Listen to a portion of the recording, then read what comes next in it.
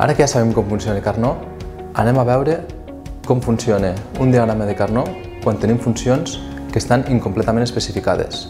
És a dir, funcions que en alguns dels, de les configuracions de la seva taula de veritat el seu valor no està especificat. Per exemple, aquí tenim una funció de tres variables, a, b i c, la qual en algunes de les seves configuracions, concretament aquestes tres d'aquí sota, la funció no està definida. És a dir, el valor de la funció per a aquestes configuracions no està determinat o no està contemplat. Això pot passar, per exemple, si estem desenvolupant una funció que ha de retornar algun valor quan la seva entrada és entre 0 i 4. Per poder arribar fins al 4 necessitem aquests 3 bits, per tant ens faran falta les tres variables. Però la resta de configuracions, la que corresponen al 5 en binari, al 6 i al 7, no estan contemplades. Anem a veure, primerament, com passem de la taula de la veritat al nostre mapa de Carnot. Com hem vist fins ara, l'únic que hem de fer és anar posant cadascun dels valors de la funció en la seva casella corresponent, és a dir, la casella en la qual la configuració de variables coincideix amb la configuració de variables que tenim a la taula de la veritat. En aquest cas, aquí tindríem un 1, tindríem un 0, aquí tindríem un 1, aquí tindríem un 0, aquí tindríem un 1, i aquestes tres últimes caselles són les que corresponen als termes on la funció no està definida. És a dir, en aquest cas, nosaltres simplement ho marcarem com unes X al diagrama de Carnot. D'acord, veiem com funciona això ara. Nosaltres hem d'aconseguir fer les agrupacions d'uns de la mateixa forma que fèiem fins ara. L'únic que canvia és que ara tenim aquí aquestes X.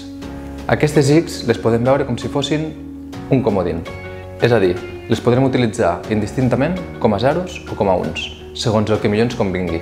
Sempre les haurem d'utilitzar de la forma que puguem fer els grups més grans possibles sense crear altres grups innecessaris. Anem a veure-ho. Aquí, aquestes tres x d'aquí les podríem considerar totes com si fossin uns i fer un grup de 4 aquí baix. Després ens quedarien aquests altres dos uns d'aquí i podríem fer aquest altre grup de 4 aquí amb els dos extrems. Aquesta solució no seria la solució òptima. Per què? Perquè estem creant dos grups de 4, quan si fiquem una altra configuració per les X, podríem resoldre aquest mapa únicament amb un grup. En aquest cas, seria suficient considerar aquesta X com un 1 i aquestes dues altres X com a zeros, de forma que el grup que ens quedaria seria aquest grup de 4 amb els dos extrems del mapa de Carnot. Aquestes altres dos X no tenen per què pertànyer a cap grup. Les consideraríem com si fossin zeros. Anem a recordar com ho fem per simplificar un cop tenim els grups fets. En aquest cas tenim un únic grup i el primer que hem de fer és comprovar dins d'aquest grup quines són les variables que canvien de valor. Totes aquelles variables que canvien de valor les descartarem. En aquest cas tenim la variable a que passa de 0 aquí a 1 aquí. Per tant, la variable a ens desapareixerà.